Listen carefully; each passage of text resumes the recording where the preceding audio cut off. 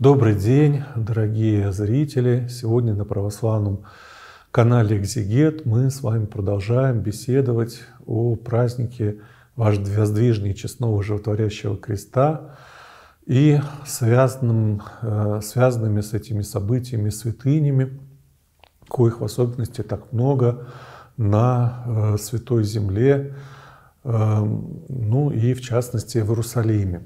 Итак, мы с вами говорили – что э, то место, где святой э, равноапостольной императрицы Елены был обретен животворящий крест Христов, находилось в непосредственной близости от э, той части храмового комплекса в честь распятия воскресения Христова, которые были построены сначала святой Елены, потом были перестроены в другое уже в последующие времена, э, вот над э, местом э, воскресения и над местом распятия Господа нашего Иисуса Христа.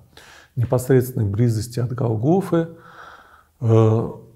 которая находилась под сводами храма Мартирион, была и небольшая часовня над местом обретения животворящего креста. Впоследствии, когда, как мы говорили, храм был перестроен крестоносцами и все святыни оказались под единым таким вот э, храмовым пространством, то в него оказалась в качестве такой, ну что ли, несколько отдельной, что ли, части включена и вот эта бывшая часовня.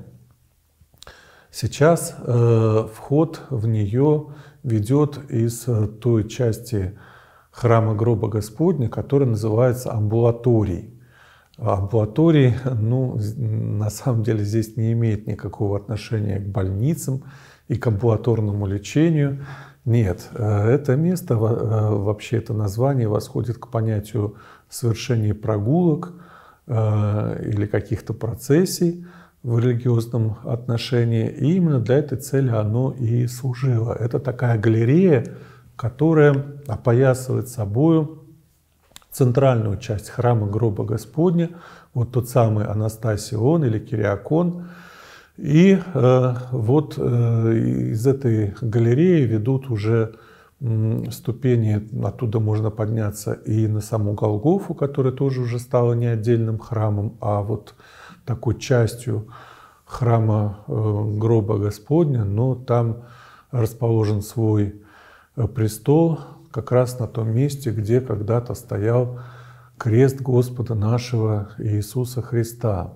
Сейчас, э, после последнего пожара, в котором э, в значительной степени пострадал этот великолепно украшенный еще крестоносцами часть храма, сохранилось лишь э, ну, совсем немного от былого великолепия Э, пострадал от огня и крест, который стоял на Голгофе до этого пожара в XIX веке.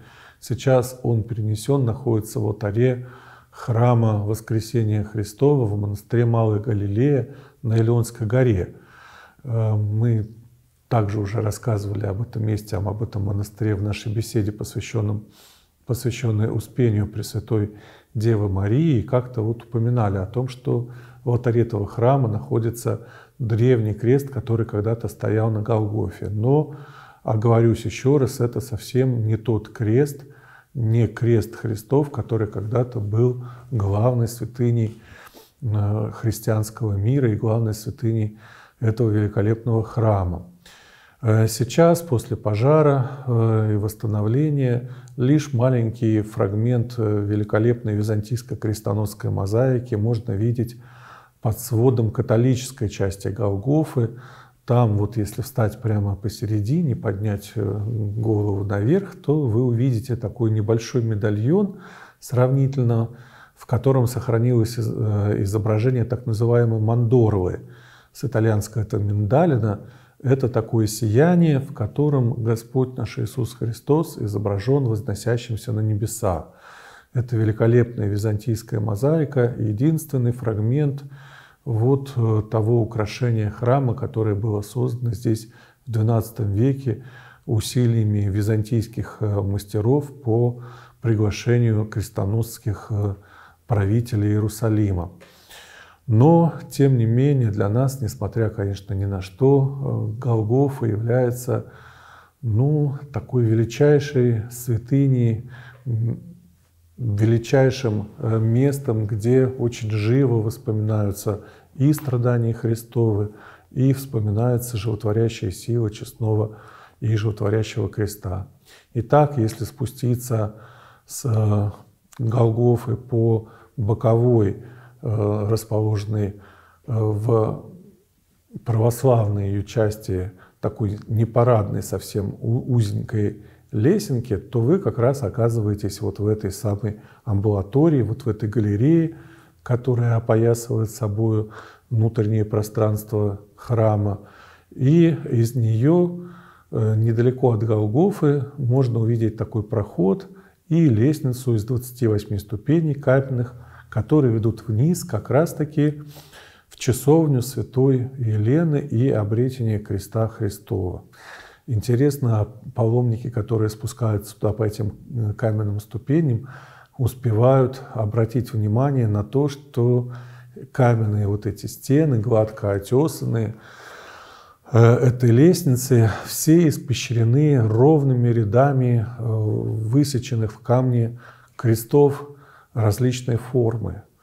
Э, буквально сотни, если не тысячи таких изображений покрывают собой камни стен этого древнего храма.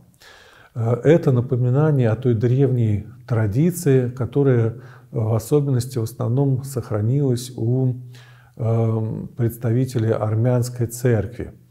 Э, армянские паломники, как правило, весьма трепетно почитавшие Хачкар, э, то есть изображение креста Христова, э, из-за чего сейчас их иногда презрительно называют хачами или хачиками, совершенно не отдавая себе отчета что в действительности это такое, казалось бы, обидное прозвище восходит к армянскому слову хачкар, то есть крест, святой крест.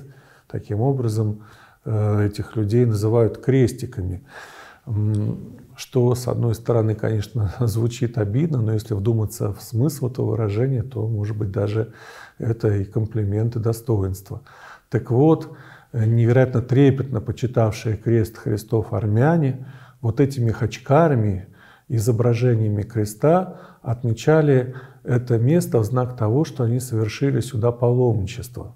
Были даже, судя по всему, специальные каменотесы, которые за определенную плату могли вот таким образом увековечить э, посещение, память о посещении тем или иным паломникам Э, этой святыни, этого храма. Ну, конечно, ввиду э, такой вот как бы э, большой посещаемости этого места никаких имен там не сохранялось, просто вот выбивался, вырезался такой вот памятный крестик на каменной стене, так что вот они густо собой покрывают вот эти каменные блоки, из которых сложен этот храм.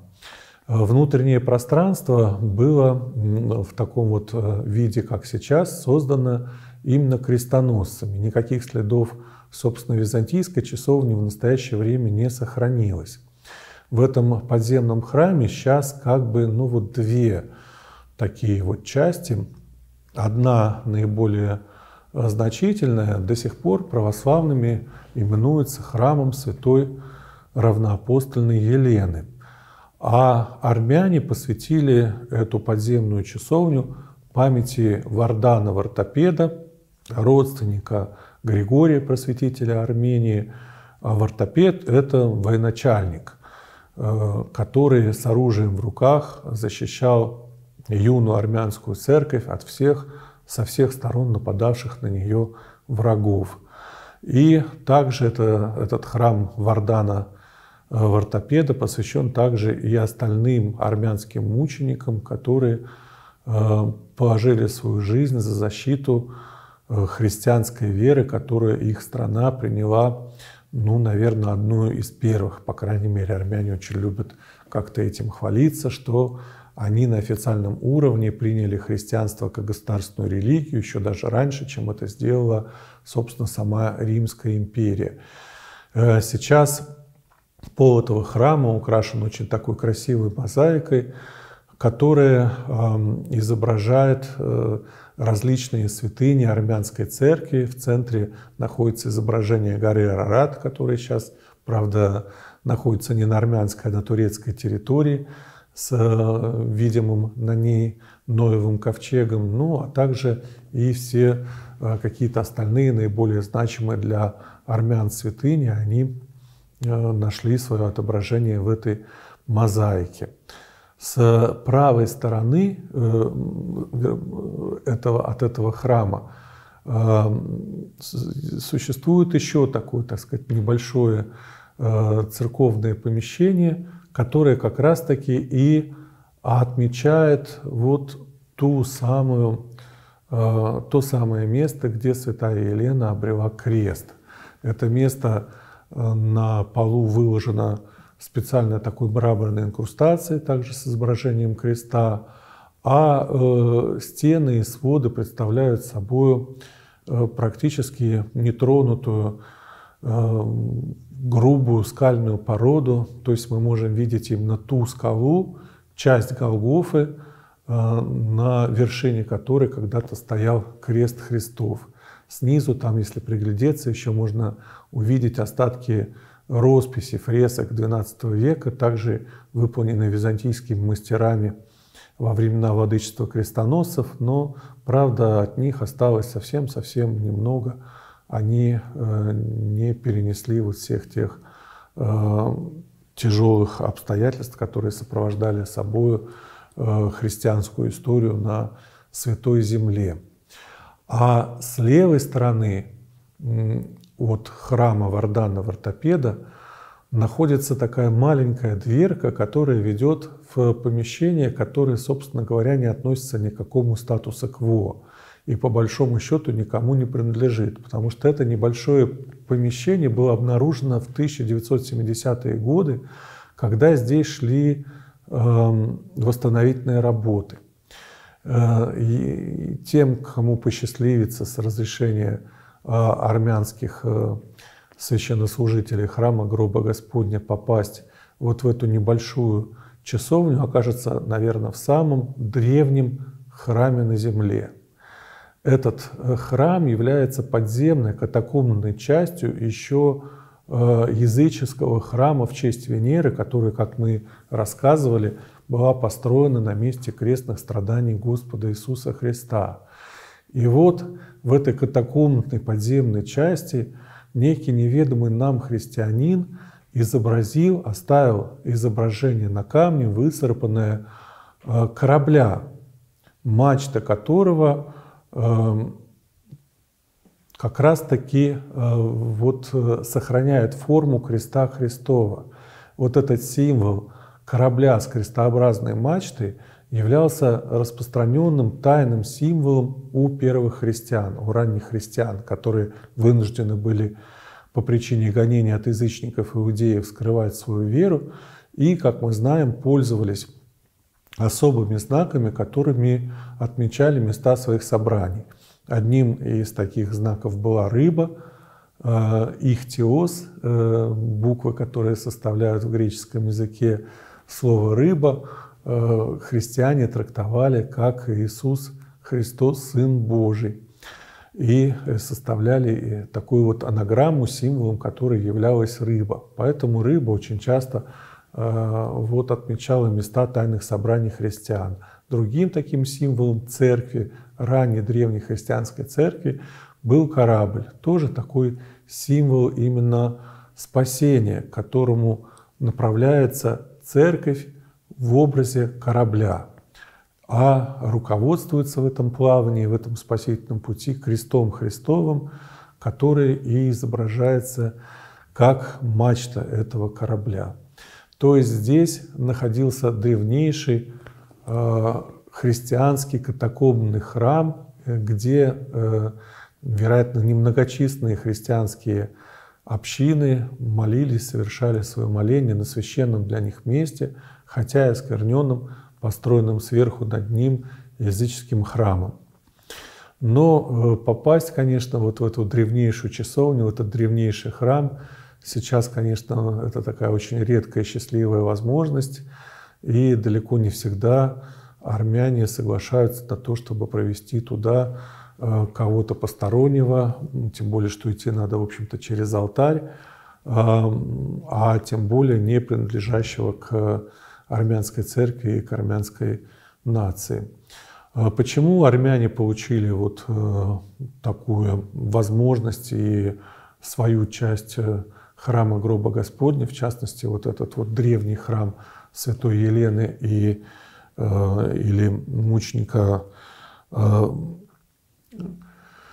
Вардата Вартопеда, ну, потому что армяне выступили одними из таких главных союзников крестоносцев на Святой Земле – Греки были Константино... Константинопольского патриархата, были э, в основном э, вся их иерархия изгнана из Иерусалима после завоевания латинянами, а армяне и сирийцы заключили унию с э, католиками-крестоносцами, и благодаря этому получили и церковные здания, и вот часть даже своего имущества, владения в храме гроба Господня и даже свои отдельные кварталы в Иерусалиме. Армяне, надо сказать, этот квартал сохранили, хотя не совсем на том месте, где он исторически располагался. Ну, а ассирийцы тоже его утратили и тоже сейчас находятся на Сионе, не там, где когда-то находился принадлежавший им квартал, занимавший северную часть Э, современного мусульманского квартала, прилегающего к Дамасским или Шхемским воротам. Итак, вот этот храм, это часовня святой равноапостольной Елены, он до сих пор является местом, где мы можем поклониться обретению креста Христова, спеть кресту Твоему поклоняемся, Владыка, величание кресту Христову, и с благоговением принести наши молитвы, наше почитание на этом месте. Конечно, там, к сожалению, практически отсутствуют православные какие-то иконы, изображения, есть только э, бронзовая статуя святой равноапостольной царицы Елены, которая была подарена в конце XIX века храму гроба Господня эм, австрийско-венгерским императором Максимилианом но там, где просияла сила креста Христова, наверное, даже и не требуется присутствие каких-то других священных символов или икон. А, его святыни вполне достаточно для того, чтобы просветить своей силой сердца приходящих на поклонение в это место православных христиан. А, Другое место, которое также в Иерусалиме связано с почитанием креста Христова, это также вот такой вот очень известный монастырь креста. Он так и называется. Более того, так называется долина даже, в которой он расположен. Этот монастырь находится, собственно говоря, за пределами старого города, то есть уже в Новом Иерусалиме, то есть в новом городе, в той части города, которая выросла уже в 19-20 э, веках э, вокруг стен, собственно, самого старого города, который принято было именовать Иерусалимом. И вот эта вот э, долина у евреев до сих пор называется Эмек Хамацлева, долина креста. И там с древности, по меньшей мере VI века, высится такой похожий на неприступную крепость, монастырь креста. Э, история его появления связана с такой очень распространенной, в особенности в византийский период и в средние века, легендой, согласно которой само древо креста Христова, то дерево, из которого он был составлен, выросло на этом месте – легенда, она очень такая любопытная, многие наверняка ее слышали, но тем не менее мы ее повторим на всякий случай для тех, кто ее не знает. А, легенда это гласит о том, что, как мы знаем, Лот после того, как бежал из Содома и Гаморы, из тех городов, которых вынужден был мучить в своем сердце от нечестия у жителей, проводить в этой области, в Содоме, свою жизнь, окруженной нечестивыми людьми, он скрылся в горах неподалеку от Хеврона, и там с ним произошла такая очень неприятная история, описанная в книге «Бытия», когда трое его дочерей, оставшись без матери и с престарелым отцом, ну вот покусились на такое неправедное деяние, напоили его вином и по очереди, пока он находился в бесчувственном состоянии, совокупились с ним, сделавшись э, прародителями таких родственных, но враждебных впоследствии иудеям народов, как э, амаликитяне и мадианитяне.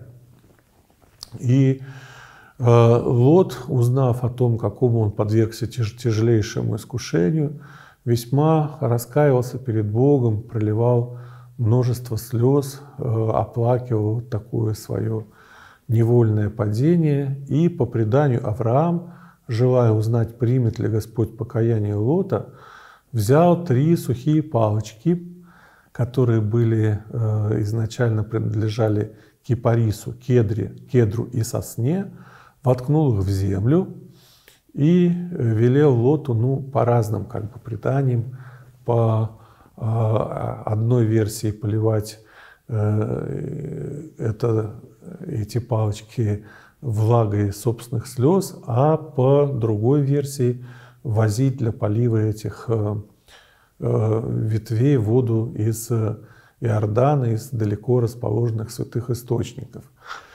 Дьявол всячески препятствовал старцу, опрокидывал его ношу с водой, когда он уже нес ее для того, чтобы полить эти ветки. Но, тем не менее, покаянный труд принес свой плод. Сухие ветви кипариса, кедра и сосны, благодаря покаянию Лота и его таким э, трудам, в которых оно выражалось, ожили, процвели и проросло вот такое трисоставное древо из трех сросшихся между собой стволов разных пород растений. Впоследствии, как говорят, строители храма Соломона срубили это древнее трехсоставное древо для того, чтобы использовать его в качестве балок для этого строительства. Но поскольку балки эти не подошли, то они их выбросили.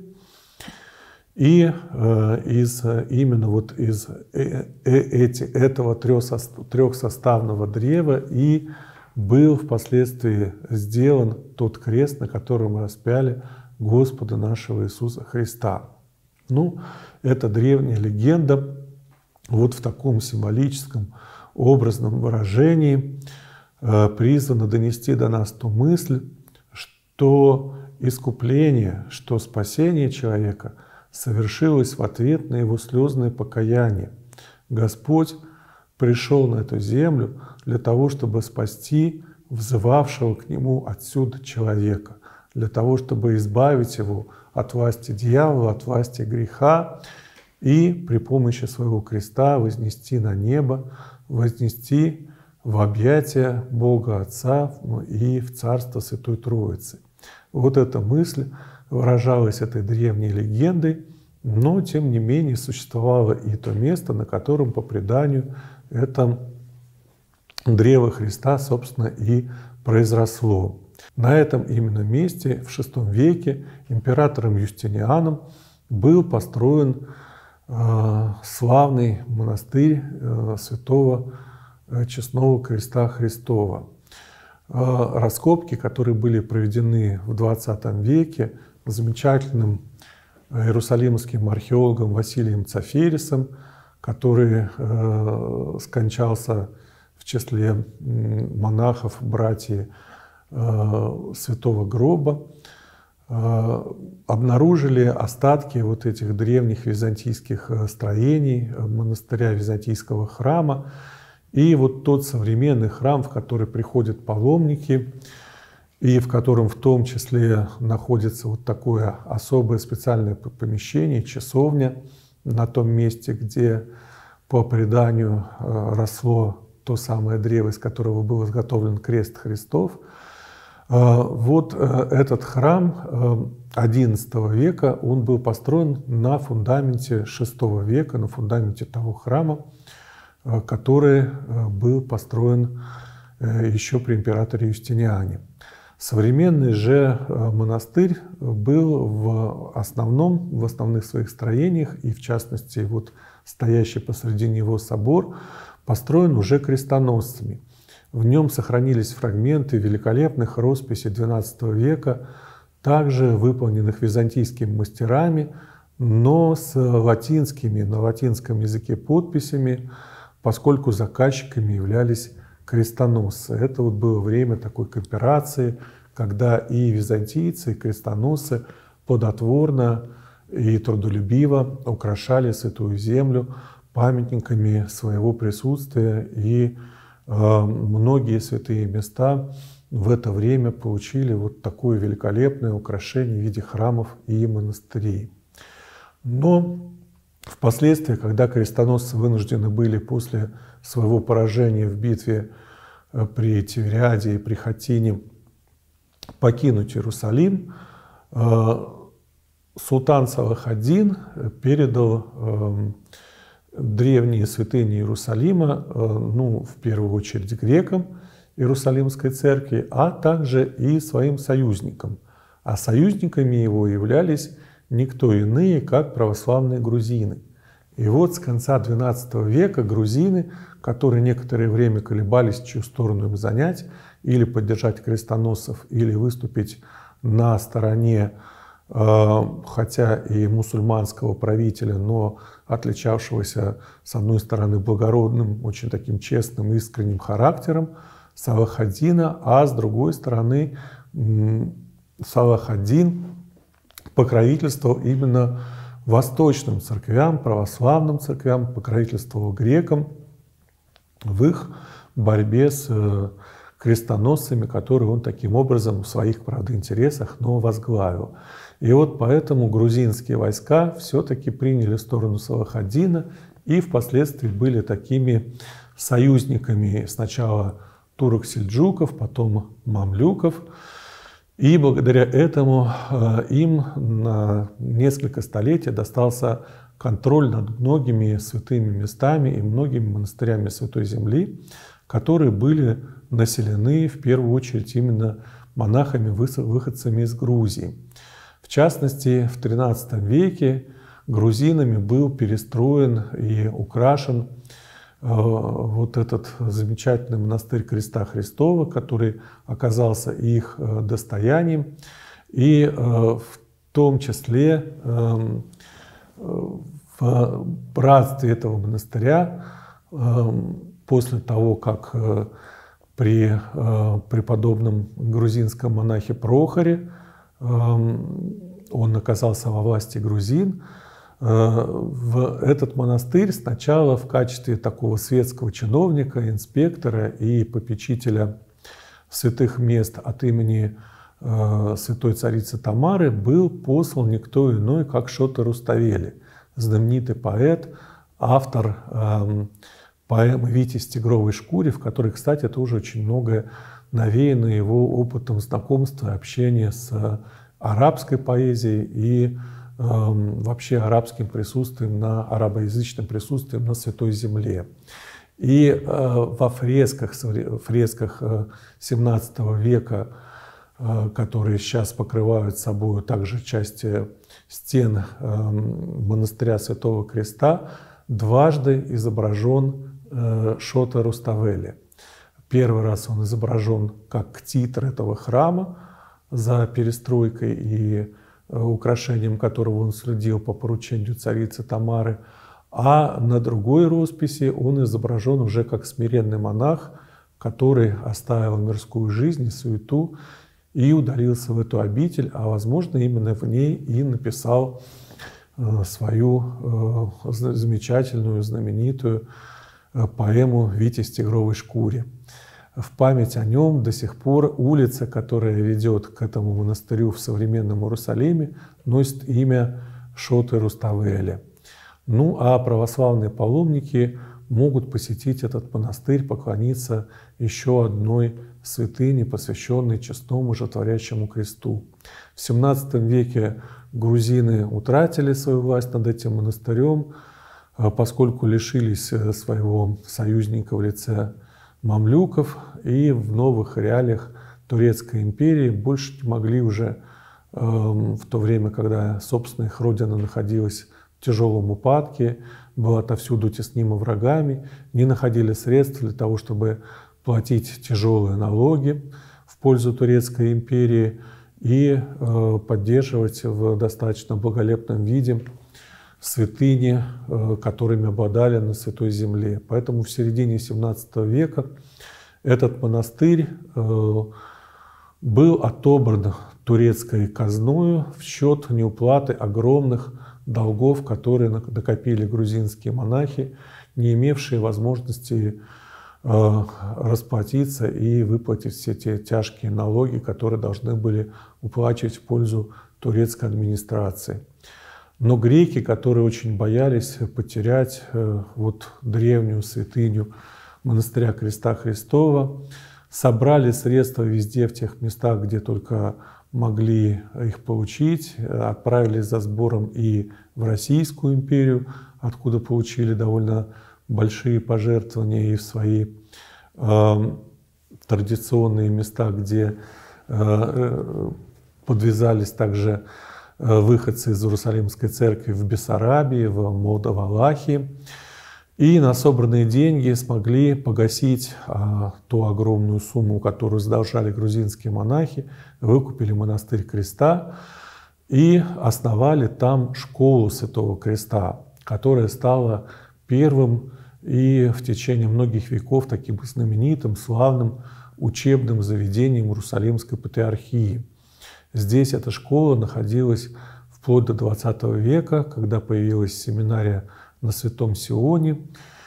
Э, и э, до сих пор небольшой музей, который устроен сейчас арабоязычными христианами, которые ну, вот сейчас присматривают за зданиями этого монастыря, э, вот они сохраняют и фотографии этой школы, этого братства греческого уже, которое когда-то подвязалось в этой обители, и также устроены такие залы с Эм, ну, как бы реконструкции э, такого вот уже эм, быта арабоязычных христиан э, в те времена, когда здесь безраздельно господствовала Турецкая империя. А монастырь этот э, представляет из себя вот такой великолепный сад за своими узкими низкими дверями, через которые мог пройти только паломник, но не мог въехать всадник-бедуин, разбойник, э, и за своими вот этими крепкими крепостными стенами, которые также должны были оградить этот монастырь от нападений разбойников-бедуинов. А, внутри он представляет из себя такой цветущий сад, э, сохранились все великолепные прекрасные росписи, фрески, хотя и в таком несколько, конечно, уже обветшалом состоянии. Э, ну и вообще эта древняя святыня, конечно, всячески достойна посещения и поклонения от тех православных паломников, которые будут иметь возможность э, побывать в этом святом месте. Итак, вот лишь немногие из тех святых мест э, Святой Земли, Палестины, которые связаны с крестом Господа нашего Иисуса Христа, с почитанием этой великой святыни, связано с праздником воздвижения честного животворящего креста, который мы с вами в эти дни продолжаем совершать и праздновать, и э, с которым сейчас э, поздравляем наших зрителей, э, следящих за нашими беседами, слушающими их на портале «Экзегет». Внеси свой вклад, оцени – подпишись и поделись этим видео.